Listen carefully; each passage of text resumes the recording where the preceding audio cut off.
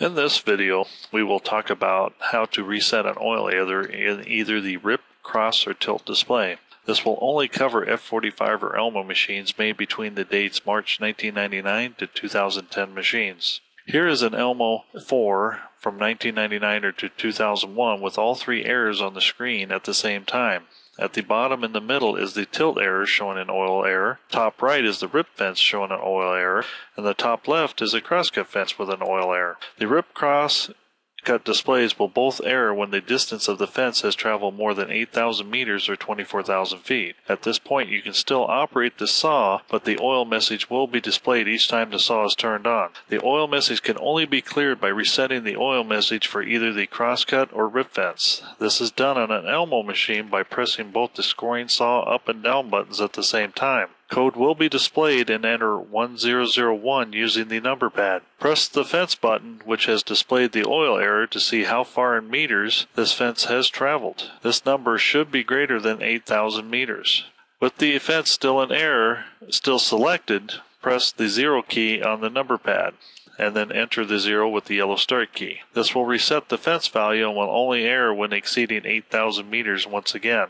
For the tilt to give an error, this means that the oil canister is out of oil. This is caused by the proximity switch on the oil can reading that the oil canister is completely empty. Clearing of this error is completed by changing out the oil canister with a new one. There is no other way to clear this error but with a new oil canister.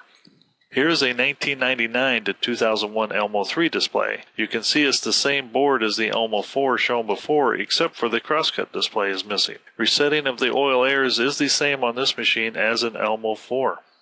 From 1999 to 2001, F45 is shown here. We can only replace the oil canister if it's the only display error that we can have with this type of machine. The display will have a blinking light which indicates the oil canister is empty. Only replacing the oil canister will stop the red light from blinking.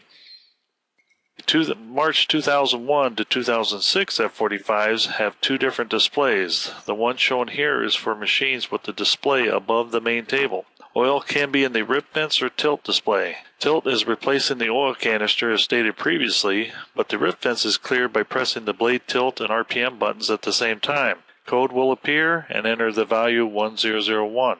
Ensure no other axis but the rip fence is selected and enter 0 and press the yellow start key. The March 2001 to 2006 Elmo machines will have a menu that will come up during operation. Follow the instructions on the screen after greasing has been completed. It will ask you to hit a certain key three times to clear the error. From March 2006, the newer F45s will have the same prompt screen to clear the error. Remember that the tilt has to have the oil canister replaced for machines made up to February 2007, and then they went to grease fittings. The next is an above table F45, which is the same as the below table F45 screen. Last is the Elmo from March 2006 and newer. This will have a screen prompt come up for each axis again as well. Push the button on the screen three times will clear the error. Ensure the axis has been creased prior to clearing the error.